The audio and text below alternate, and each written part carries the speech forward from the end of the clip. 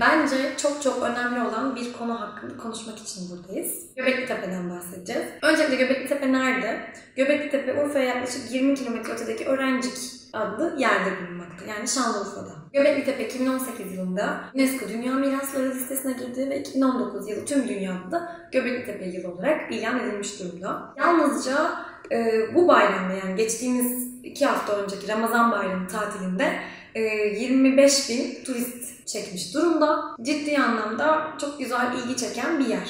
Ancak gelin görün ki ben burayla ilgili bir takım ezberleri bozmak ve bir takım gerçekçilikten böyle... Uzak gel- haberleri.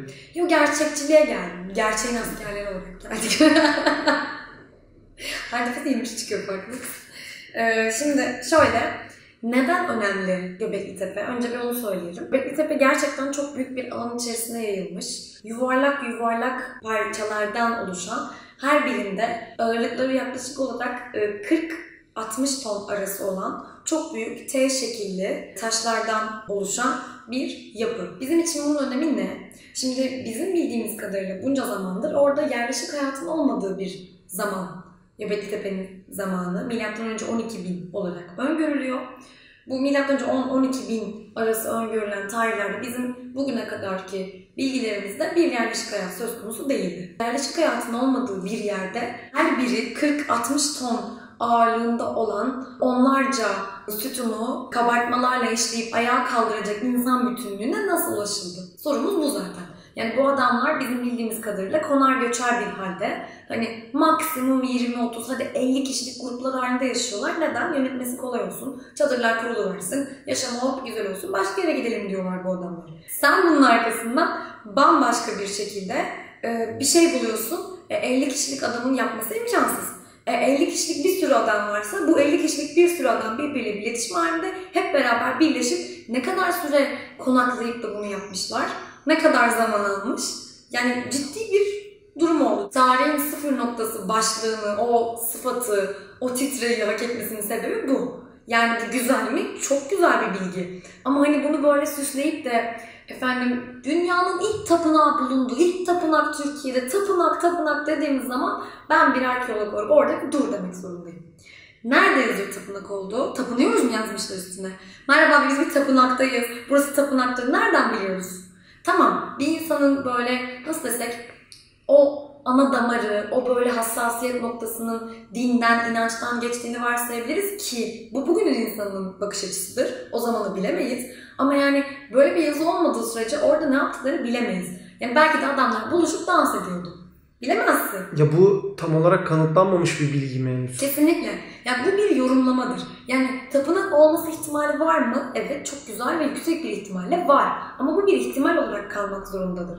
Yani dünyanın ilk tapınağı Türkiye'de diye çat diye çıkarmak biraz böyle e, başka ihtimallerden uzak bir görüş oluyor. Çünkü dediğim gibi üzerinde tapınıyoruz, tapındık, tapınmaktayız gibi bir yazı olmadığı sürece hiçbir şekilde bulunan bir alanın bir benzeri yoksa tapınak olduğunu kanıtlamamıza bir ihtimal yok. Bizim için burada kanıt olan tek şey nedir? Çok fazla iş gerektiren, iş yükü gerektiren bir şeyin bizim bildiğimiz yerleşik hayattan çok daha önceki bir zamanda yapılmış olması. Bu konunun üzerine düşünülmesi, araştırılması, yazılması gerekli. Ama bu direkt tapınak deyip kestirip atmak bir başka sınıflandırma yöntemi, bir başka kolaya kaçma yönteminden başka bir şey değildir bence. Game of Thrones'daki da- Dothrakiler bu yapıya sahipler. Göçebeler ama bir tane yapılı şehirleri var ve senenin belirli bir kısmında bütün kabileler gidip orada e, şey böyle ticaret işte tapınma vesaire işlerini görüyorlar. Acaba bunu araştırdı mı ya yazarı? Ben buna bir bakayım. İlginç bir ikinci okuma. Evet, ilginçmiş. Ben ilk kez şey yapıyorum. Ben izlemedim Game of Thrones. Ya olabilir ya ben sadece. Ya bir de şey var burada, bu, bu durumla ilgili şeyi söyleyecektim. Bu dediğin şey de çok tatlı bir e, alt metin olarak. Belki de ticaret yapıyorlardı. Belki yollarda topladıkları bazı şeyleri birbirleriyle değiş tokuş yapıyorlardı. Hani bir şekilde başka bir iletişim yöntemiydi onlar için. Dediğim gibi belki kendilerine özgü festivalleri, bir dans alanları vardı. Yani gerçekten bilemeyiz. ya da komple bir şehir de olabilir. Her Şehir türlü amaç değil. için kullanılır Ya değil şey, mi? yaşam sürdürülebilecek tepesi kapalı olduğuna dair bir şey. T şeklinde düşün. Hı hı. T şeklinde üzeri kabartmalı böyle e, sütunlar var. Bu sütunlar yuvarlak, yuvarlak, yuvarlak, yuvarlak bu şekilde bir alanı kaplıyor. Yani tapınağa benziyor mu? Benziyor. Belki de dükkan da bilemez. Yani gerçekten ben bu konuda birazcık şey oluyorum. Bu kolaya kaçmalardan rahatsızlık duyuyorum. Yani e, benim söylediğim şey oranın önemini azaltmaya yönelik bir durum değil. Benim söylediğim şey aksine çok önemli ve farklı alanlardan da araştırılması gerekiyor gibi bir yorumdur. Şimdi burada bir de bahsedilmesi gereken şöyle bir nokta var. Bu zamana kadar yani Göbekli Tepe, şimdi Göbekli Tepe 1994'te Klaus Schmidt ile birlikte kazılmaya başlanan bir Alman bir araştırmacı kendisi. Ne üzücü bir şekilde 1960'larda keşfedilen bir yer. 1994 yılında Alman bir araştırmacı başlayana kadar hiç kimse kazıya başlamıyor burada. Ve Klaus Schmidt yakın zamanda vefat etti kendisi. Hatta Göbekli Tepe'ye ben geçen birkaç ay önce gittiğimde orada Göbekli Tepe'ye doğru yürüyen bir yol var. Öyle de Klaus Schmidt yolu demişler. Çok tatlı ve çok e, onurlandırıcı bir şey bence. Çünkü gerçekten de inanılmaz emeği dokunmuş bir insan. Şimdi burada bizim için önemli olan ne? Şimdi biz bugüne kadar ne biliyoruz? Nevali Chori var. Yine aynı bölgede bir alan. Biz burada milattan önce yaklaşık 9000 zamanında tarıma geçildiğini ve ufak bir yerleşik hayat şeyi olduğunu, izi olduğunu biliyoruz. Aynı şekilde Konya'daki Çatalhöyük'te de 7400, milattan önce 7400 civarlarında bir yerleşik hayata geçildiğini biliyoruz. Ve bizim bu zamana kadar Nevali Çori ve Çatalhöyük'le birlikte yerleşimin ve tarımın başladığına inandığımız bir sistemimiz vardı. Ancak Göbekli Tepe'nin çıkması bizim için bazı şekilde tarihi baştan yazdı gibi bir şey. Çünkü dediğim gibi insanlar eğer bir arada yaşamıyorsa nasıl bir şekilde böyle bir şeyi ortaya koyabildiler? İnanamıyorsun. Üzerlerindeki hayvan figürleri o kadar güzel işlenmiş durumda ki yani bundan 12 bin, 14 bin yıl önce insanların orada bunları yapmış olmaları ve komple kireç taşından yapılmış bir yer. Oranın kendi taşından. Yerleri bile sıfırlamışlar taşla. Yani yer var. Bir yer var ya. Hani toprağı falan bırakmamışlar. Ciddi anlamda bir çaba var. Ve işte bu yüzden insanlar şey diyor zaten bu kadar uğraşmışlarsa din içindir falan. Olabilir. Ama olmayabilir. Şimdi bu zamana kadar bilinmiş diğer şeyler mesela Stonehenge var ya hani böyle çok büyük bir yapı nasıl yaptılar falan. Stonehenge milattan önce 2500 yılı. Yani aradaki zaman dilimine baksana. Bu kadar arada bir zaman dilimi var ve bizim bildiğimiz aradaki boşluğu dolduracak yani şu anda ciddi anlamda din dersen boşluk dolar işte. Anladın mı? Rahatlıyorlar çünkü kolay. Vallahi din için, insanoğlu inancı için neler yapmış falan de çık işin içinden ama çıkmaman lazım işte. Biraz daha böyle farklı e, teoriler de ortaya atmamız gerekiyor bence bu konuyla ilgili. Bir de bu Mezopotamya'daki ziguratlar var. Ziguratları bilir misin? Yine böyle bir tapınak şey. Mesela onlar da milattan önce 4000. Hani bizim bugüne kadar bildiğimiz şeyleri düşünürsen hani ne böyle Çorisi, Çatalhöyük, işte Alacaoğlu bilmem nesi bütün bunların yapıldığı zamanla bizim Göbekli Tepe'nin yapıldığı zaman arasında yaklaşık 3000-4000 yıl oynuyor. Yani 3000-4000 yıl da şimdi söylemesi kolay geliyor da yani hani hakikaten yıl ya. Bayağı yıl yani. Hani yani böyle geçmiş zamanlardan bahsederken hoş geliyor böyle. Yani 1000-2000 yıl fark var arada falan. 1000-2000 yıl. Bir bakıver yani o 1000-2000 yıla. Gitti Göbekli Tepe. Ciddisin ya. Bu kadar konu zaten bir şey bilinmiyor ki. Tapınak deyip geçmiş adamlar. Onlar tapınak deyip geçti diye ekstra bir bilgi yok yani durumla ilgili. Yeryüzünün ilk tapınağı falan. Nerede tapınak? Ama şöyle bir şey var. Bu arada şimdi bunu da yorumlamadan geçemeyeceğim. Burası önemli. Ee, şeye gittim. Göbekli Tepe'ye gittim. Gerçekten çok güzel. Yani bunu sadece alandan bahsetmiyorum. Kesinlikle bizde muhteşem bir öğren yeri olarak sergiler. Benim bu zamana kadar dünyada gördüğüm en iyi öğren yeri sergilemelerinden biridir. Şöyle düşün, giriyorsun, önce e, bir böyle interaktif bir oda yapmışlar.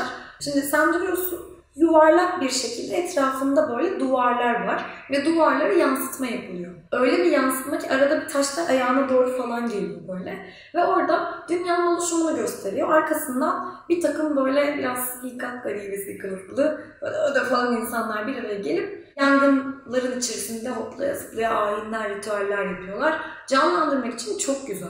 Yani dediğim gibi süslemişler ama süslemezsen gelen olmuyor zaten. O yüzden hiç şikayetçi değilim ben bu durumda. Hani böyle önce seni zaten o ruh haline bir sokuyor. Daha sonra oradan yürüyorsun. Şimdilik açılmış olan alanları tellerle çevirmiş. O biraz sıkıntı. Ama şimdilik başka yolu yok çünkü kazı devam edeceği için bir cam yapamazsın. Dolayısıyla kazılar devam ettiği için bu arada bir de şöyle bir şey var. Birkaç yerde okuduğum kadarıyla şöyle deniyor. 200 yıl daha kazılacak şey varmış orada.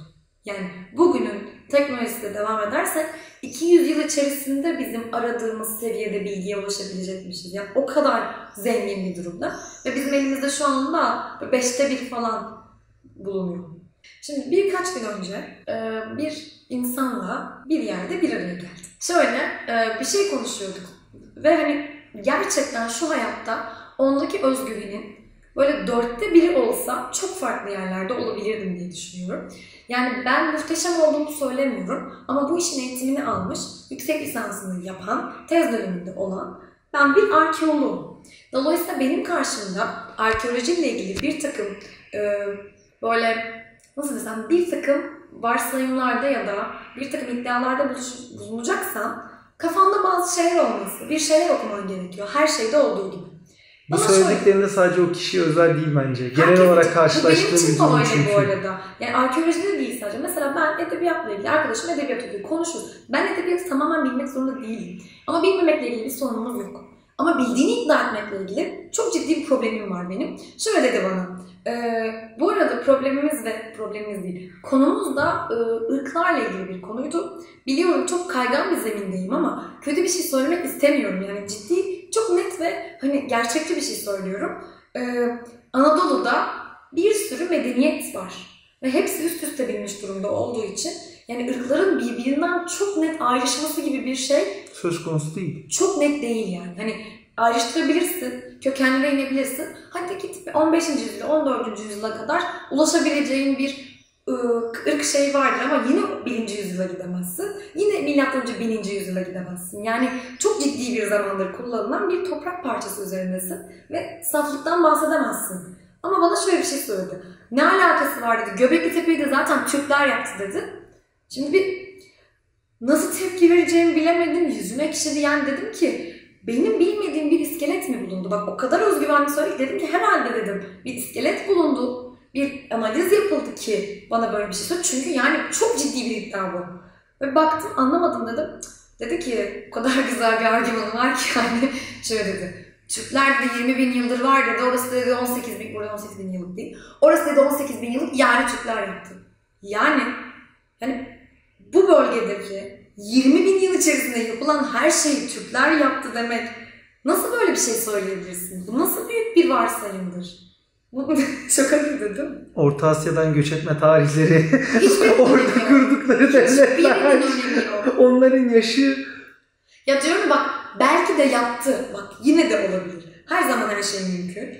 Ama ya bu kadar keskin cümle kurabileceğin nasıl bir özgüven yaşadıysan dahası aynı insanla konuşmaya devam ediyorum. Bir şey söylüyorum diyorum ki e, zaten diyorum mesela Osmanlı kültürüyle bu Bizans yönetim biçimindeki benzerlikten bahsediyor.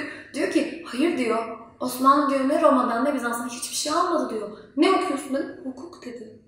Sen Roma hukuku dersi almadın mı gözünü seveyim ya. Yani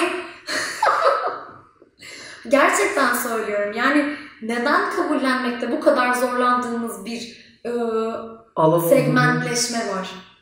Bu segmentler gerçek. Bunun üzerine tek bir kelime daha söyleyemeyiz.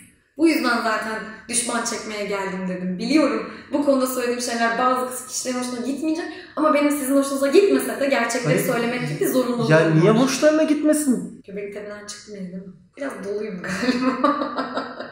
Sonuç olarak geri dönecek olursak Göbekli Tepe. Göbekli Tepe gerçekten de burada olduğu için bizi çok şanslı kılan bir başka yer.